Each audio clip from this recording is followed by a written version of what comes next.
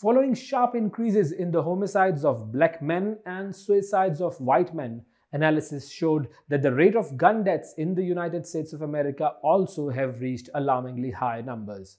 Although having declined in the 1990s but rising steadily over the past decade and especially during COVID, a record 48,953 deaths in the US or about 15 fatalities per 100,000 people were caused by guns last year.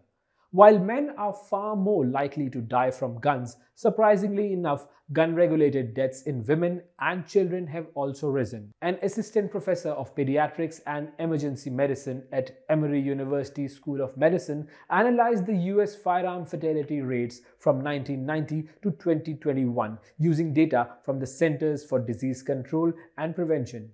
More than 1.1 million people were shown to have died of guns since 1990, which is incomprehensible.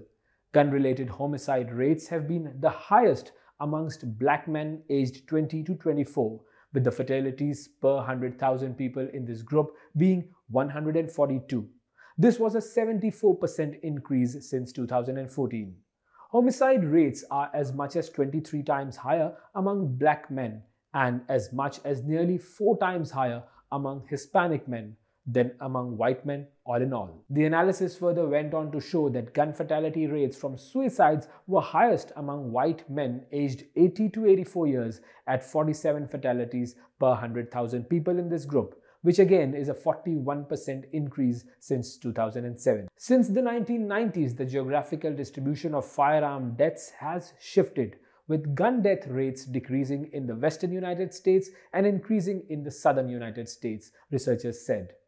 The trend of increasing firearm fatalities was, however, unfortunately found to be crossing all sexes. Published after the mass shootings in Virginia and Colorado, the analysis showed no affirmation to why the firearm deaths were on an increase. But it did, however, show the groups that are at a higher risk from gun violence that policy changes could help lessen, such as the implementation of suicide prevention programs, violation prevention, firearm buyback programs, and safe storage.